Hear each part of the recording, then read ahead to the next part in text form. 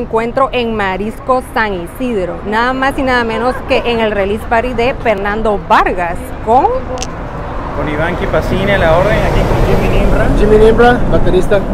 Bienvenidos, ¿y qué nos pueden contar sobre su carrera? No, pues nada, este, muy contentos de estar en esta noche, en esta alfombra roja y pues nada, venimos aquí a apoyar el talento y pues muy contento también eh, porque estamos promocionando el álbum nuevo que se titula 412. Estamos ahorita eh, promocionando el segundo sencillo que se llama Te Encontré. Es un tema súper padrísimo, una, una canción, eh, una balada súper fuerte.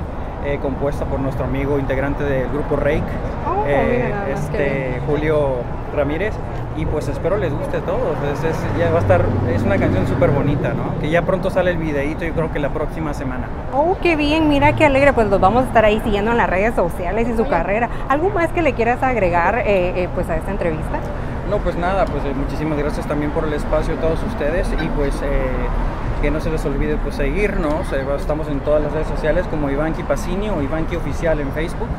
Eh, en Instagram estamos como Iván Kipacini y pues eh, pronto muchísimas sorpresas por ahí y pues que, que, apoyen en toda la música independiente, ¿no? Claro que sí, no se olviden de apoyar y